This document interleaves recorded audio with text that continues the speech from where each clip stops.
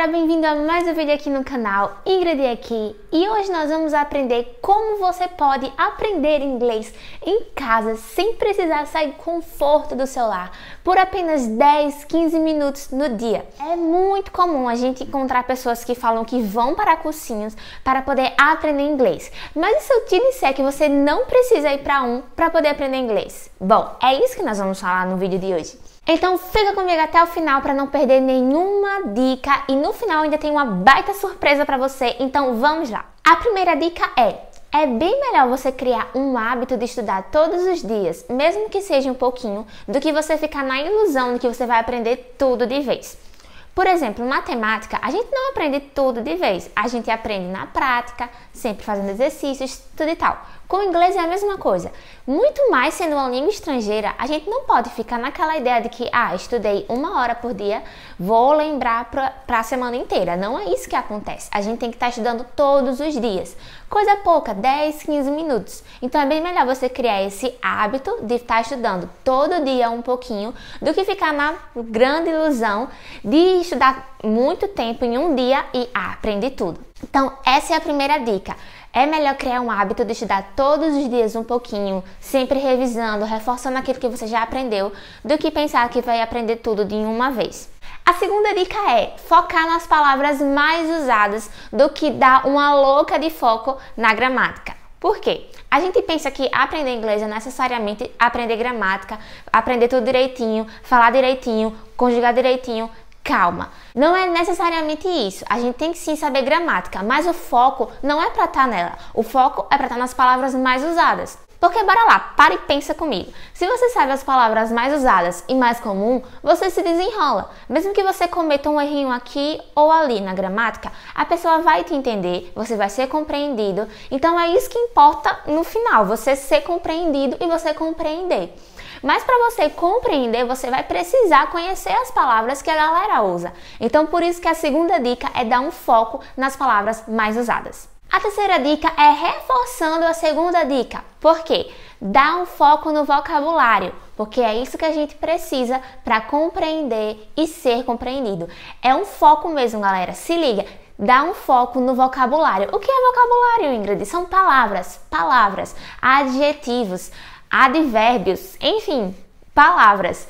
Vocabulário, dá um foco no vocabulário. Vamos lá. Suponha que numa conversa você sabe a parte da gramática, de montar a estrutura tudo direitinho, mas beleza, você conseguiu falar, você conseguiu se expressar. Mas a, a pessoa deu uma resposta e você ficou, não entendi nada. Por quê? Porque não é a sua gramática que vai te salvar na hora que você está conversando. O que vai te salvar é o vocabulário, é o conhecimento de palavras que você tem. Então, por isso que vocabulário é tão importante. Dá um foco no vocabulário. A quarta dica é também reforçando a segunda dica, que é não ficar neurótico com gramática. Gramática, gente. Tem gente que acha difícil, tem gente que, né, assim, convenhamos, tem coisas na gramática que ficam por quê? Mas a gente não precisa ficar neurótico com isso. A gente não precisa ficar desesperado com isso. Gramática a gente vai aprendendo aos poucos. Com o passar do tempo que você vai estudando, vai se dedicando, vai assistindo coisas, vídeos em inglês, você vai pegando essas coisas. Você não precisa necessariamente sentar e ficar aprendendo, decorando, decorando. Porque se você decorar, você aprendeu por um momento, mas depois você esqueceu. Então é bem melhor você ficar vendo essas coisas todos os dias, de 10 a 15 minutinhos por dia, vendo a gramática nas coisas que você está estudando diariamente e assim você vai estar tá absorvendo facilmente, sabe? Então não precisa ficar neurótico com gramática, não fica neurótico com isso, senão você não vai avançar, senão você vai ficar parado só naquilo. Ah, não, eu tenho que saber, eu tenho que saber. De pouquinho em pouquinho você vai aprendendo. E a última dica é use ferramentas que você gosta para aprender inglês diariamente. Como assim? Se você gosta de ler livros, artigos, HQ, diz a minha irmã que ninguém mais lê HQ, mas enfim, se você é uma pessoa que gosta de ler ou então que gosta de assistir documentários, filmes, Enfim, se você gosta de, se você tem um hobby específico, que tal você usar isso a seu favor para aprender inglês? Eu falei isso num vídeo anteriormente, mais sobre esse tópico. Vou deixar o link lá na descrição do vídeo, que é assim você aprende mais como usar o inglês para estudar com prazer. Eu vou deixar o link lá na descrição do vídeo.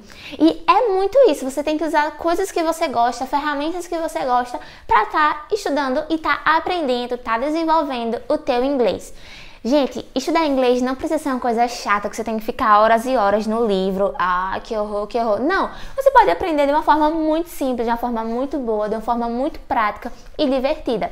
Então essa é a quinta dica. Use ferramentas que você gosta para aprender inglês. Mas antes de finalizar esse vídeo, se você é uma das pessoas que acha que tem que ir para cursinho, mesmo depois de todas essas dicas, se você acha que tem que ir para um cursinho para aprender inglês, essa parte específica do vídeo é para você, porque lá na descrição do vídeo eu vou deixar um link que quando você for lá você vai descobrir como aprender coisas em inglês em oito semanas. Nossa, Ingrid, mas até parece que eu vou aprender inglês em oito semanas. Não, você não vai aprender tudo em oito semanas, mas você vai aprender o que é necessário para em seguida você tá fazendo todas essas dicas aqui que eu te falei. Então, vai lá, corre lá, eu vou deixar lá na descrição do vídeo o link.